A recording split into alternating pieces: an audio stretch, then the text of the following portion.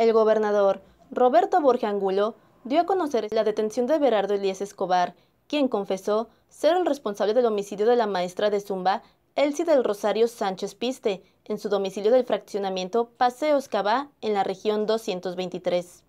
Asimismo, afirmó que la seguridad de los quintanarruenses y la tranquilidad de las familias es lo que más lo ocupa como gobernador. De acuerdo con el jefe del Ejecutivo, Everardo Elías Escobar, el presunto homicida se desempeñaba como taxista y anteriormente trabajó en la Dirección Municipal del Deporte, cargo en el que tenía a su cargo la asignación de parques para actividades físicas como las clases de zumba.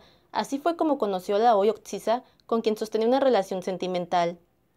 Luego de explicar que el detonante del homicidio fueron los celos, dado que hace unos meses Elsie del Rosario Sánchez Piste le comentó que pensaba irse a vivir a Mérida, dijo que ayer se hizo la reconstrucción de hechos, en la que el presunto homicida estuvo acompañado por un defensor de oficio, como marca la ley.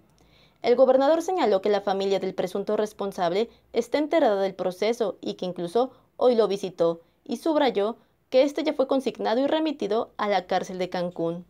También dijo que en coordinación con las autoridades ministeriales de Yucatán continúa la búsqueda de Néstor Orlando Celcarrillo, presunto asesino de Paloma Guadalupe Balán Pot, quien presumiblemente huyó hacia ese estado.